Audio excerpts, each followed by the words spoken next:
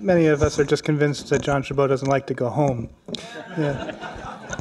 His, lo- his family's lovely, though, they really are. Um, and he knows the names of most of his children.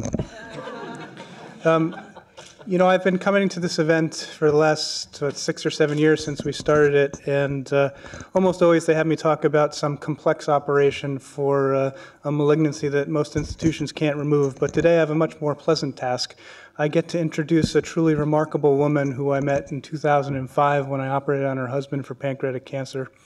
Um, uh, she is uh, a great dog lover, and she volunteers her time in animal shelters. She is a avid fan of both the Jets and Bruce Springsteen. Um, she has tremendous enthusiasm and passion, but in 2005, that uh, uh, that all changed, and she's funneled that enthusiasm and passion into advocacy for her husband and for patients in general with pancreatic cancer. Just to give you an idea of the scope of this uh, involvement, she, she and she and Ralph are part of the team with uh, PanCan and their advocacy group that helped get Resolution 733 passed in the House of Representatives.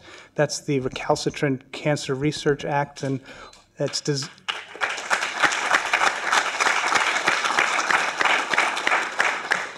that means multiple trips to Washington, D.C., meeting with multiple congressmen, um, and it's designed to help increase the funding for pancreatic cancer research.